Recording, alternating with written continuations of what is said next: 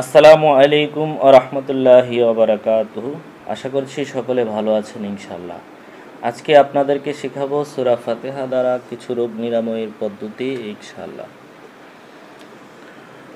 যারা এই সুরা দ্বারা যে কোনো ধরনের রোগের কাজ করে, তবে আপনাকে অবশ্যই পরহেজগার এবং পবিত্রতা অবলম্বন করতে হবে, তাহলেই কাজ হবে। প্রথমত আপনাদেরকে আমি সুরা ফাতেহা দ্বারা শেখাবো কীভাবে মানুষের শরীরের ব্যথা, বেদনা বা পুচকে গেলে ঝাড়া দিবেন? সর্বপ্রথম আপনাকে হাতে সরিষার তেল এবং লবণ নিয়ে ব্যথার জায়গায় মালিশ করতে হবে এবং সুরা ফাতেহা সাতবার পাঠ করতে হবে।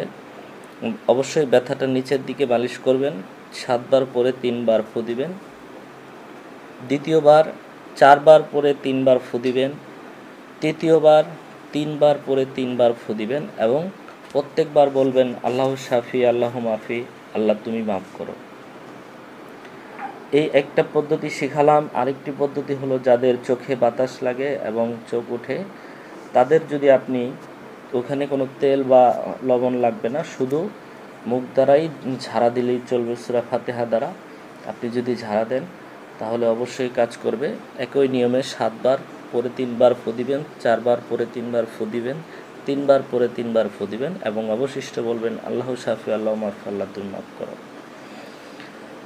তৃতীয় যে বিষয়টি শিখাবো, সেটি হলো জন্ডিস ভালো করা। দেখেন আপনারা অনেকেই যে জন্ডিস হলে ডাব করা খায়, অনেকেই জানে না এটা কি দিয়ে পড়ে। এই পবিত্র সুরা ফাতেহা দ্বারাই জন্ডিসের ডাব করা হয়।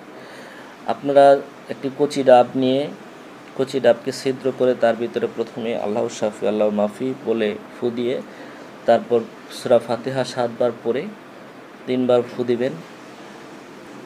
আবার চারবার পরে তিনবার ফু দিবেন।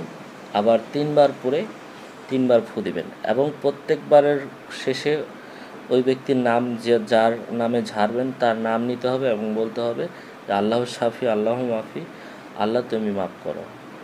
প্রত্যেকবারই আপনাকে এই কথাটা বলতে হবে, এটা মাথায় রাখতে হবে, অবশ্যই আপনাকে পাক পবিত্র থাকতে হবে। তাহলে অবশ্যই কাজ করবে। আমি আপনাদেরকে এই তিনটা পদ্ধতি শেখালাম। যদি আপনাদের কাছে ভালো লাগে, আপনারা লাইক কমেন্ট শেয়ার করে উৎসাহ দেন।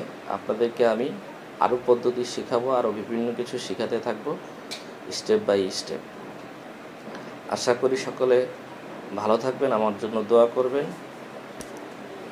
এবং খারাপ লোকদের কাছ থেকে নিজেরা বিরত থাকবেন। এই বলে বিদায় নিচ্ছে। আসসালামু আলাইকুম আ রহমতুল্লাহি আবরকাত